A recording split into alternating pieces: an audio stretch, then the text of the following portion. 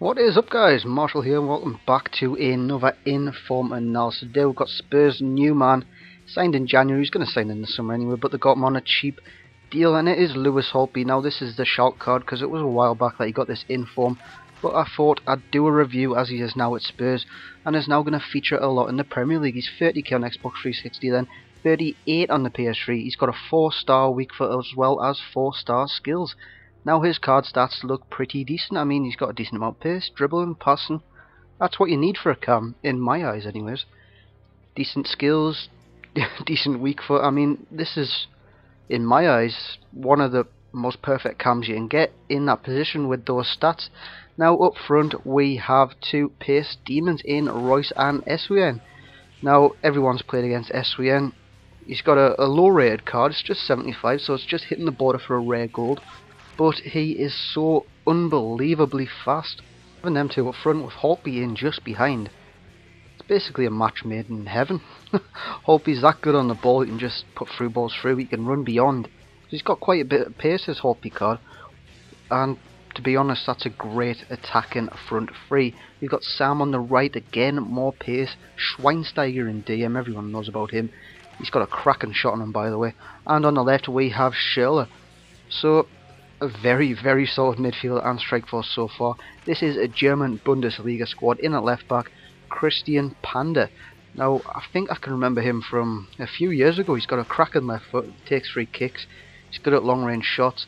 In at centre back, we've got Hummels and Boateng. Boateng, of course, the former Manchester City player, alongside Hummels, who is gathering his reputation in world football. It's getting better by the week. Honestly, I know Dortmund's a huge club at the minute, but I think he can go that one step further. Maybe Madrid, maybe a Barca. Even in the Premier League, I'd love to see him. We've got Lahm right back and Adler in net. Now, let's get back to Lewis Holtby, and here are his in-game stats. Very, very promising. his ball control is brilliant. Dribbling's good. I mean, 88 dribbling, that's superb for this card. Especially at the price, because his price, I mean, is bordering the 30k mark right now. And it's definitely worth it in my eyes. Attacking work rate's high, defensive work rate's medium. His physical attributes are superb. His agility, balance. That means he can he bridges a lot more than normal players. If you come up and there's a challenge coming in, you'll more often than not just knock it past. Now this is the first game then. Holtby is involved. Nice little ball through to Holtby and Holtby skins this guy. Two little drag overs there before wait ball rolls.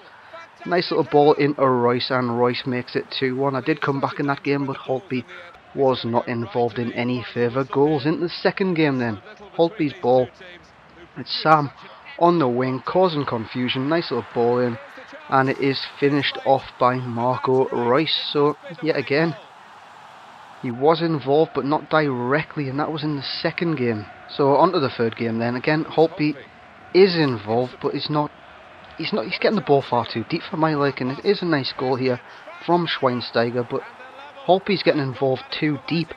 Simply can't have the end product. Here he does though. You've seen Schweinsteiger level it at 2-2, 90th minute. It set up a brilliant finale, end-to-end -end stuff, and Holtby nabs the winner. So finally Holtby is on the end of something.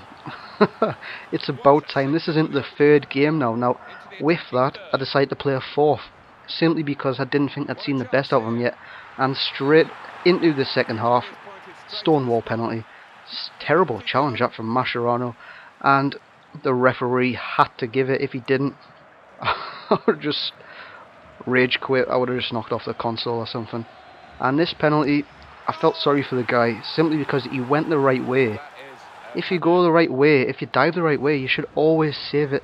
But that's just my opinion. Anyways, just a few moments later, it is Holtby yet again. He rounds the keeper. It's a nice little chip finish. Holtby is coming into his own in this game.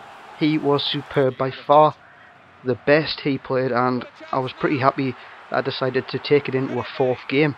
Great touch again to go around that guy. It was unfortunate with a shot but SWN did knock it in. Now, he went on to get a hat-trick. He'd only scored one goal in three games but this one he got a hat-trick. Giving him an 8 out of 10. He is worth the coins. He's a brilliant cam. And that is it for this episode. I hope you enjoyed it. I'll see you guys next time.